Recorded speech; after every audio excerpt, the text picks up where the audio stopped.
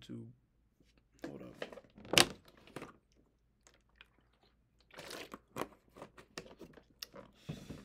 What's good, YouTube?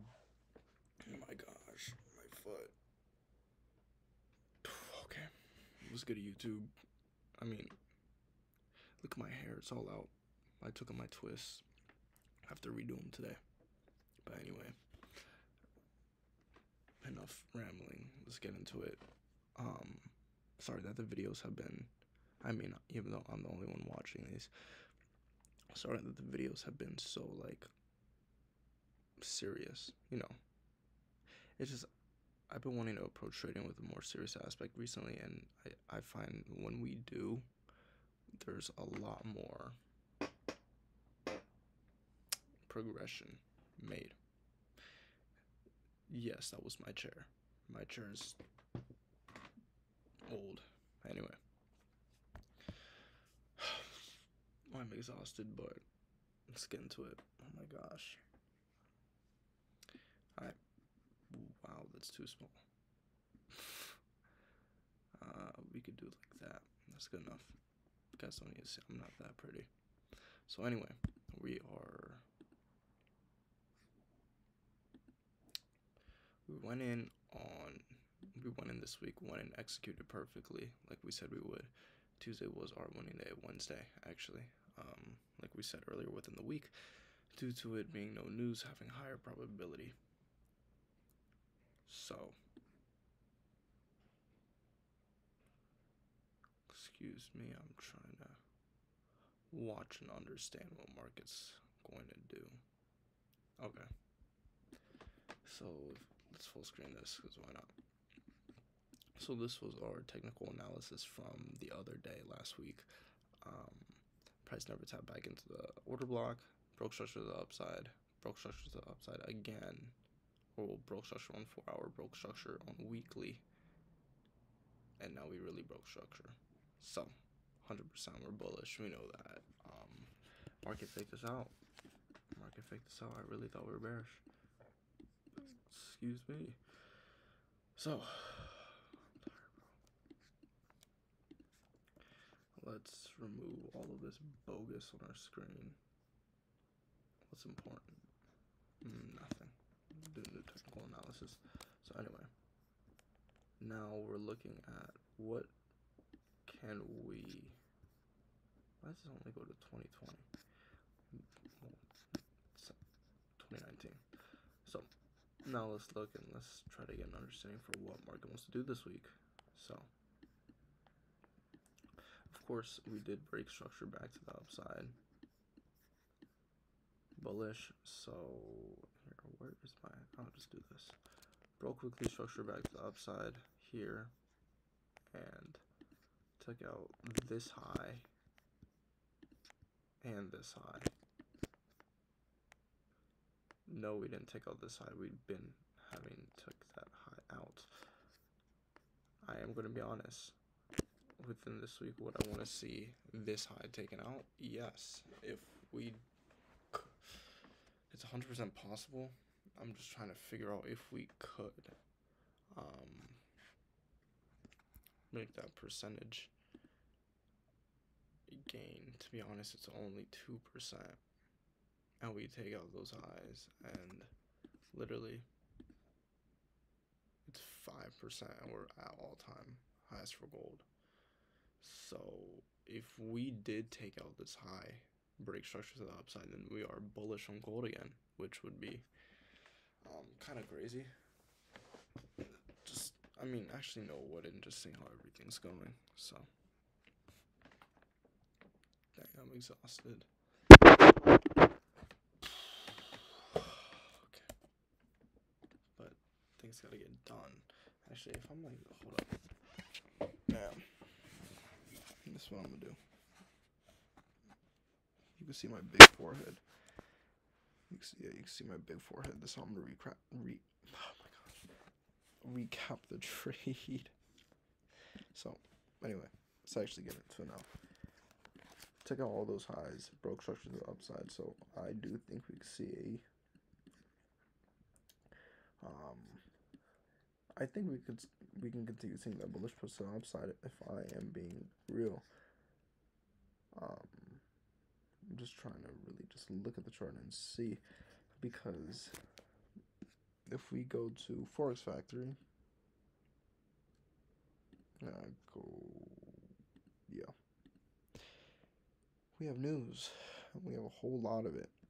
Flash manufacturing PMI, Fed, advanced GDP, and core C or PCE. So it feels horrible to be sick. Don't get sick. Anyway, so our highest probability day of executing really would be Monday, if I'm being real. It really, really, really would be Monday. Um, but I'm stingy, so it's gonna be Sunday because knowing how I trade in my swing positions, I'm probably gonna take a swing from Sunday, um, not market open, probably later, like pre-market into Monday and maybe New York and see what goes on during that time. But the reason why I'm skeptical of that is because what if price needs to retrace, you know? So we know we're bullish on weekly. That's set in stone. So we don't need to go over that anymore. But now question is are we going to be bullish on daily? something I would like to see if we are executing today would be a retracement for this fair value gap right here. Uh, where is it? Oh my gosh. Shapes. A retracement for this fair value gap right here. Bam. Fill this and continue back to the upside. If I'm being honest, I think that could be a probable execution. I would just something that I would need to look for. Look at all that rejection. Something I would need to look for and see myself actually is maybe more so a retracement for that and this four hour imbalance then a one hour break of structure to the upside. Sure, I may be asking for too much and I probably am, but you know, with whatever price gives me, I'm not trading till probably around London session tonight. So if we could just continue seeing that um, move to the upside, that's what I would like. Oh my gosh. Uh, no.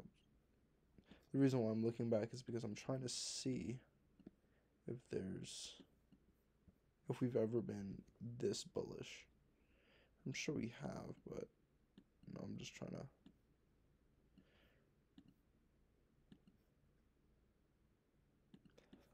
Eleven, definitely made more than eleven percent move here. Okay, it's possible. So it's not like it's impossible. It is possible. But yeah, something I would be looking for would hundred percent be a retracement into one of, if not both of these fair value gaps, filling the fair value gaps, and then hourly break structure to the upside. If we see that, I'm good to go. I'm ready. 20 lots, gold, bam, we're down. So that's what I would want to look for. Um, it's really, really self-explanatory this week. I'm going to be completely honest, just primarily because we did break weekly. Like, if you can't tell, we're bullish.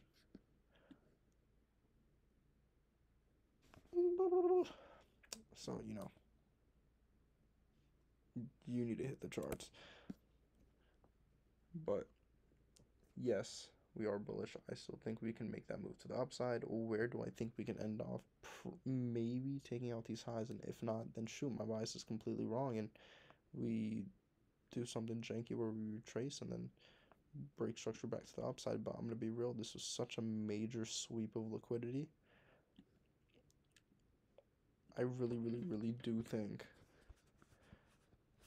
and and that break structure to the upside, I really, really, really do think we are still going to go bullish. Something that would have given me extra, extra confluence to solidify that we're still going bullish is if we would have taken out this low.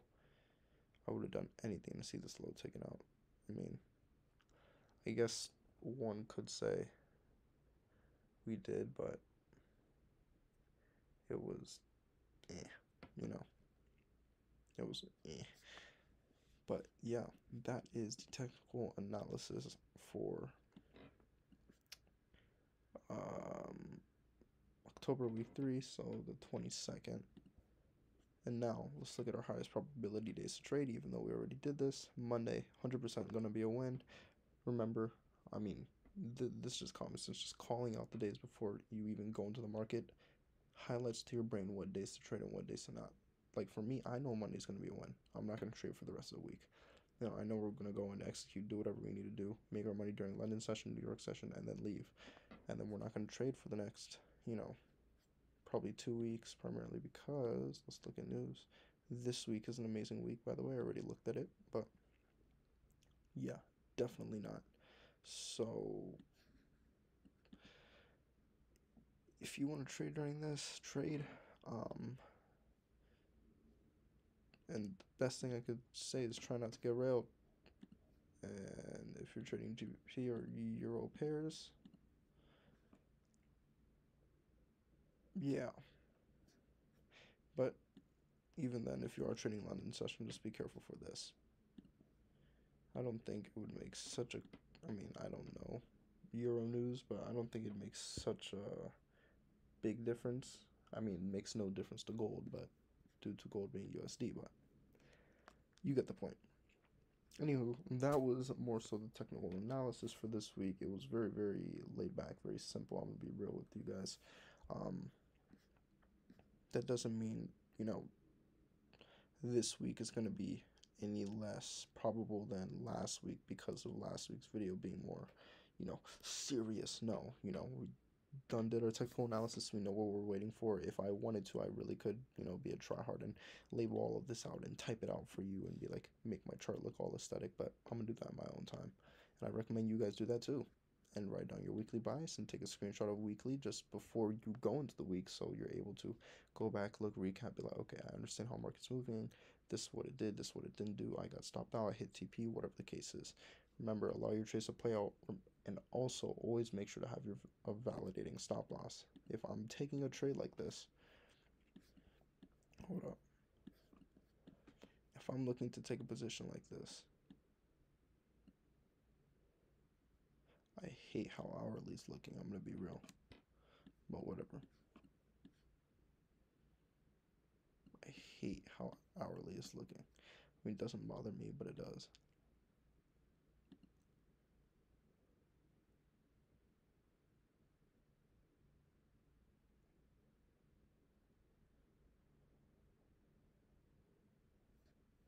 I tripping? It's not even a candlestick.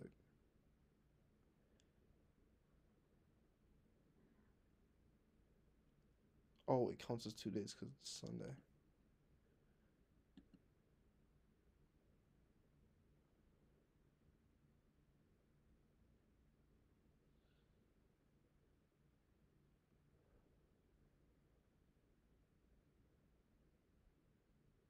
Eh, actually, doesn't look half bad. So something, uh, I was just trying to make sure.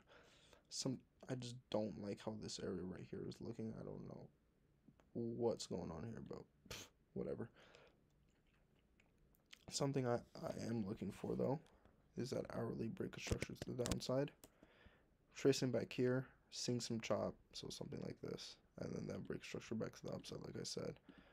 Um, this happens, it happens. If it doesn't, we're not trading for the week. That's just how it goes. Why? Because I'm probably going to be risking upward of like 6.5k on this trade.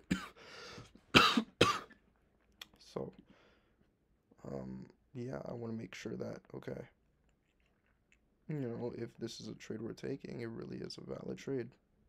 I'm not going to sit there and just allow myself to take a bad trade just because. So something like this is what I'm looking for. And then most likely that entry on that break of structure, taking out all these lows, pushing back for a value gap. Um, yeah, essentially just making that move back to the upside stop loss. I am going to go and test spread and figure out, okay, what do I want the stop loss to be? But it'll probably be something that's decently validating depending on how market opens, how market starts to move. But yeah, I just recommend that you go in and you see, okay, how is market moving today? How could we possibly move?